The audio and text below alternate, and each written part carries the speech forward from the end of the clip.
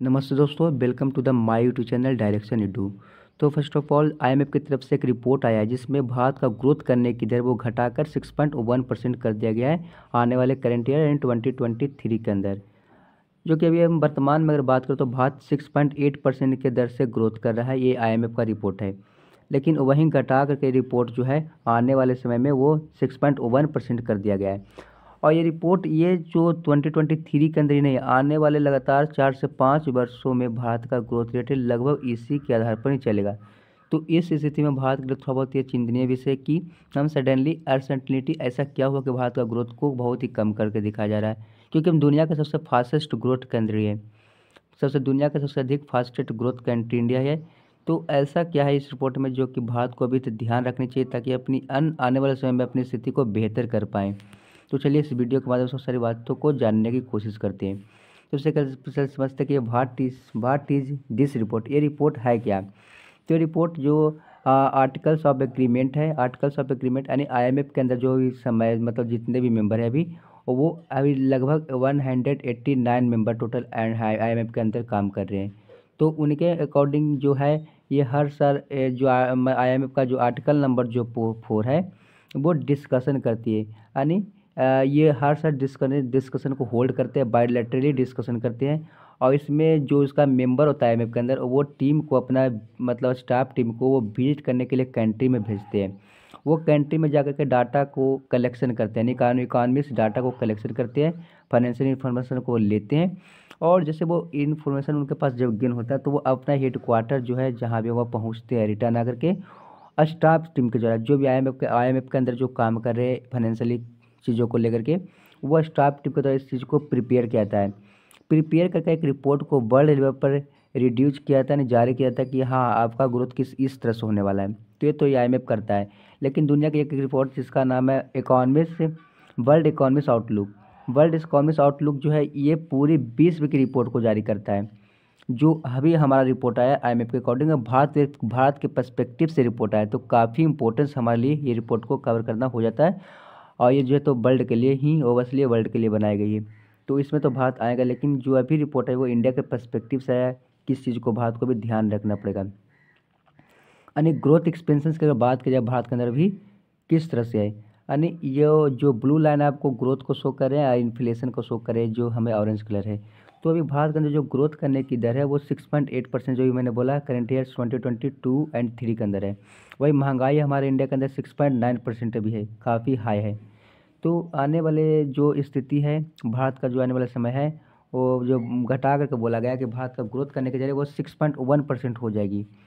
अभी current year में twenty six point eight तो चल रहा है, लेकिन वो कंटिन्यूसली लगातार वो बना रहेगा दर, यानी दो हज़ार छब्बीस, सत्ताईस, अट्ठाईस तक की स्थिति भारत की बनी रहेगी ग्रोथ करने की दर है। और महँगाई को काफ़ी हद तक भारत कंट्रोल कर लेगा। ये उनका कहना रिपोर्ट के अकॉर्डिंग ये बातें कही गई है। यानी किसी देश की महँगाई टू से सिक्स परसेंट तक की रहेगी तो सबसे बेस्ट माने जाते हैं, ठीक है ना? लेकिन अभी महँगाई सेवन परसेंट पर मतलब इक्वल बने रहेगा। इससे हमारी दिक्कत ये कि हम दुनिया का सबसे फास्टेस्ट इकॉनमी से ग्रोथ वाला कंट्री है। तो हम दुनिया के अंदर इतने अपना ये मतलब विस्तार कर रहे हैं। आने वाले समय हम दुनिया का थर्ड लास्ट लार्जेस्ट कंट्री अगर बनना है थर्ड लार्जेस्ट हमें जीडीपी वाला कंट्री बनना है तो कहीं ना कहीं ग्रोथ थोड़ा सा ना तेज़ होनी चाहिए भारत को। दो हज़ार छब्बीस सत्ताईस तक भारत का टारगेट है, सत्ताईस अट्ठाईस तक भारत का ही टारगेट है कि टेन ट्रिलियन या फाइव ट्रिलियन या टेन ट्रिलियन की इकॉनमीज की अचीव करना है। तो इस स्थिति में इतना कम ग्रोथ से थोड़ा सा मुश्किल है भारत के लिए बढ़ जाएगी फिर ग्रोथ करने के ग्रोथ करने को लेकर के। वाट इज़ हैपनेट ये कहा है। यानी भारत का जो मॉडरेट करके जो कर दिया गया है one six point one percentage वो कर दिया गया है ट्वेंटी ट्वेंटी थ्री या फोर के अंदर। और अभी जो फन है मतलब वर्तमान में सिक्स पॉइंट एट परसेंट से भारत अभी ग्रोथ कर रहा है। और ये लगातार भारत के अंदर महँगाई भी कंटिन्यूसली दो साल से बढ़ ही रहा है। और कहीं कहीं ना कहीं ना, कहीं भारत में अगर कोरोना कोविड नाइन्टीन के वेरिएंट का इफ़ेक्टिव अगर दिखना स्टार्ट होता है अभी जिस तरह से चाइना में तबाही मचा रुकी है कोरोना वायरस इसका अगर इफ़ेक्ट इंडिया इकॉनमी पर पड़ता है तो भारत का जो ग्रोथ करने की दर वो काफ़ी हद तक और प्रभावित करेंगे फिर ये। और मोर देन अगर ये बात की जाए तो आने वाले उनका मानना है, एमएफ का मीडियम टर्म में भारत का जो ग्रोथ करने की दर है, वो लगभग सिक्स सिक्स परसेंट के आसपास में बना रहेगा, आने वाले समय में उनका ये मानना है। और जो कि, जो अभी मतलब करंट ईयर जब उनके ऑफिशियल के द्वारा बात किया गया, भारत के अधिकारियों के द्वारा जब बात किया गया, यानी आईएमएफ का जो भी अधिकारी, भारतीय अधिकारियों से बात की तो उनसे ये पता चला कि भारत का जो ग्रोथ है, इस ईयर के अंत तक सेवन परसेंट तक हो जाएगी।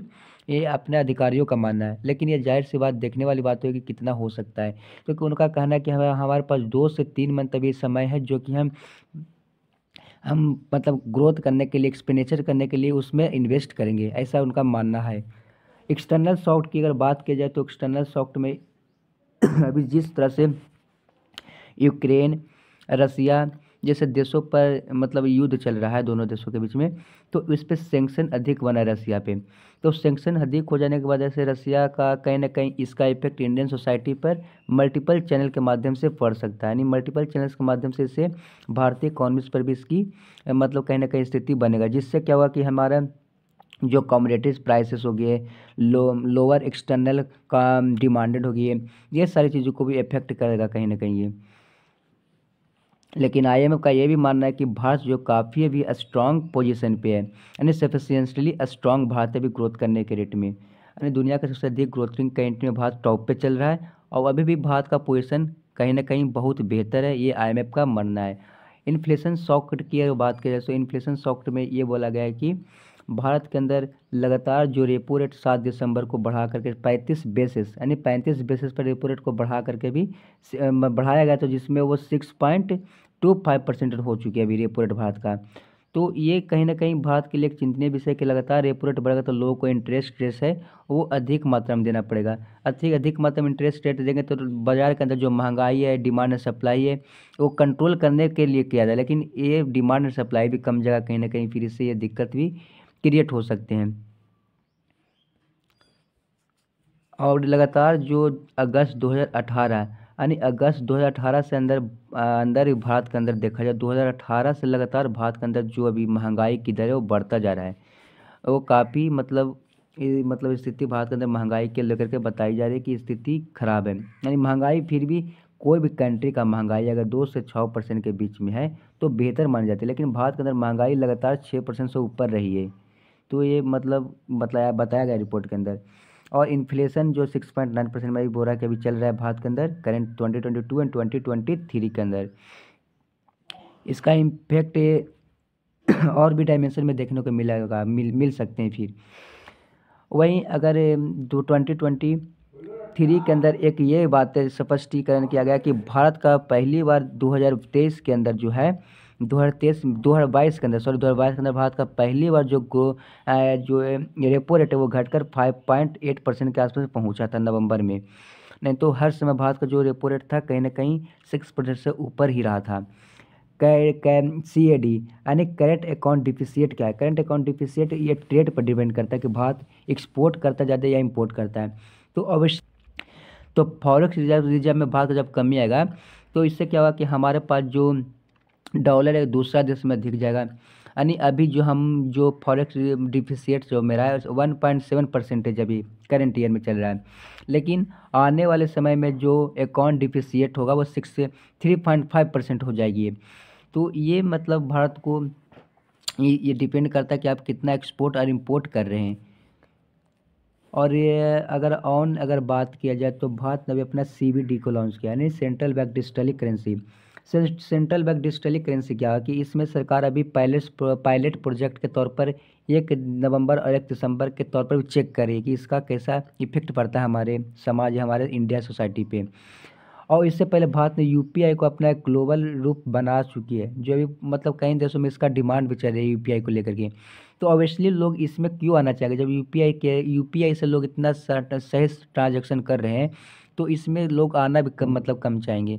और ऊपर से इसका जो लाने का कॉस्ट है सेंट्रल बैंक डिजिटली करेंसी काफ़ी हाई बताई जा रही है। तो ये भारत को ये विचार करनी चाहिए। अगर भारत को इसमें आई का अकॉर्डिंग ये मानना है कि भारत इसमें अगर कुछ अच्छा कर सकता तो बाय यानी बॉर्डर ट्रांजेक्शन की सुविधाएँ इसके अंदर ला दिया जाए। यानी सी बी डी सी के अंदर तो लोग इसके अंदर थोड़ा बहुत आ सकते हैं। नहीं तो ऐसे प्राइवेट सेक्टर के अंदर क्रिप्टो करेंसी इथीरियम पर लोग ही रहेंगे। क्योंकि पहले से लोग इस पर बने हुए तो लोग क्यों आना चाहेंगे सी बी डी सी के अंदर? तो ये भारत के लिए सोचने योग्य विषय है, लेकिन इसका ये भी एक इम्पैक्ट होगा कि हमारा जो साइबर सिक्योरिटी जैसी असुविधा, सुविधाएँ वो काफ़ी हाई हो जाएगी फिर। इसमें इसका इम्पैक्ट रिस्क होगा भारत पे भारत कैसा इस, इस चीज़ को लेता है अपने अंदर। और एक और लास्ट यह है कि कोऑपरेटिव फाइनेंशियल सेक्शन जो है किस तरह से हमारा स्थिति है। अभी देखा तो कोऑपरेटिव कंपनियाँ जो भी लोन लेते हैं वो फाइनेंशियल सेक्टर से लेते हैं। फाइनेंशियल सेक्टर से वो लेन लेती है तो कहीं ना कहीं उनका जो भी मतलब बताया मैंने कि इंटरेस्ट रेट अधिक देना पड़ रहा है, क्योंकि हमारा रेपो रेट लगातार बढ़ता रहा, जा रहा है। तो इंटरेस्ट रेट अधिक देंगे तो उस कंपनियों पर जो ब्याज करने की दर है, वो कहीं ना कहीं अधिक हो जाएगा। तो ये कंपनियाँ शायद ये इनको ब्याज देने में चूक जाएगी तो इससे ये भी फेल मार जाएँगे, इससे ये भी फेल हो जाएँगे। तो दोनों के लिए कहीं ना कहीं ये सिचुएशन डिफ़िकल्ट होते होते होते जा रहा है। वही फाइनली लास्ट में कंक्लूजन ये निकलता है कि जिस तरह से अभी दुनिया के अंदर इकॉनमीज को लेकर के अनसर्टेनिटी जैसे चीज़ आउटलुक देखा जा रहा है और काफ़ी हाई रिस्क है। ग्रोथ करने की दर भारत को घटाकर काफ़ी हद तक कम मतलब हो चुका है। तो ये बातें भारत को सीख लेनी चाहिए कि हमें कौन कौन चीज़ में सही से बदलाव करना करना चाहिए। ओवरऑल हम ये सारी बातों को गवर्नमेंट डिसाइड करे किस तरह से होंगे। तो आज के लिए इतना ही। मिलते हैं नेक्स्ट वीडियो में। जय हिंद, जय भारत। वीडियो को अच्छा लगे तो एक कमेंट ज़रूर करके बताइए। इसमें और क्या क्या हम इम्प्रूवमेंट कर सकते हैं?